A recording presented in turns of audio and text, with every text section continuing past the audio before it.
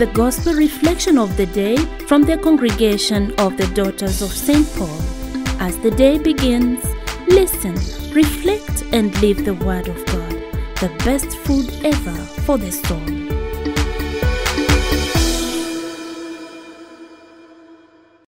Hello and welcome to today's reflection, Wednesday, 24th January 2024. Today, Mother Church celebrates the memorial of St. Francis de Sales, Bishop and Doctor of the Church. Francis was born in France in 1567 during the difficult decade following the Protestant Reformation.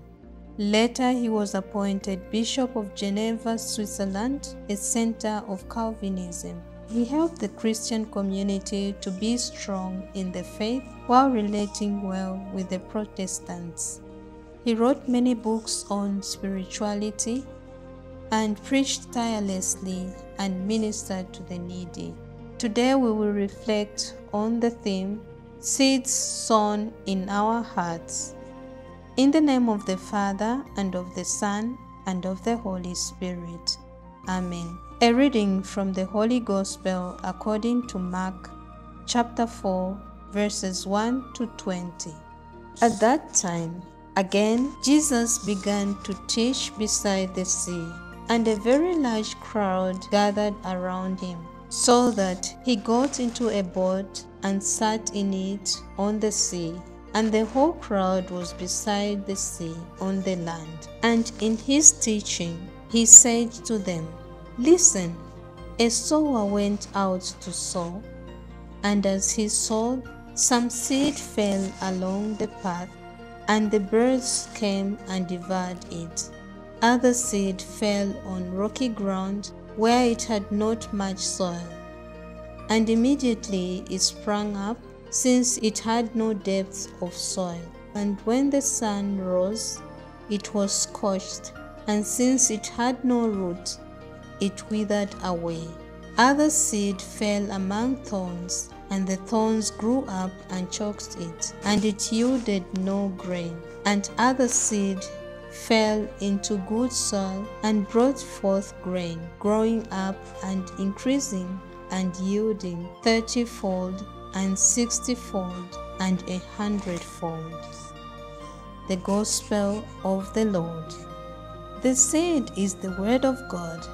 God has been sowing His sacred Word in human hearts all through history. God's Word has a mysterious power and it has never lost that power. But the Word, the seed without rich soil in which to take root, is sterile. So today's parable is more about soil than about seed. It is about us, about the kind of soil that we are, about our receptivity to the seed. It is also about fertilizer, without which even good soil becomes fruitless. The traditional fertilizer is prayer and self denial. None of our Lord's parables so challenges us as this one. Sincerity demands that we ask ourselves about hardness of heart, about superficiality, about cares and pleasures and unlawful desires. In a word, how receptive are we as individuals and as a family to God's Word? Let us pray. Almighty, ever living God, we come before you with gratitude for the gift of your word. We ask you to send your Holy Spirit to inflame our hearts so that we may be open to your word and that it may bear abundant fruit in our hearts and in our lives. We ask this through Christ our Lord. Amen.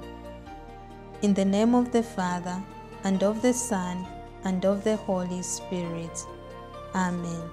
Praise be Jesus Christ.